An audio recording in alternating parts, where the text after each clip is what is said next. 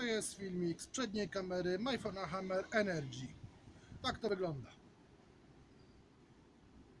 No i oczywiście jeszcze na koniec szybko pokażę Wam, że jest również zbliżenie cyfrowe. Jakość taka jak widzicie.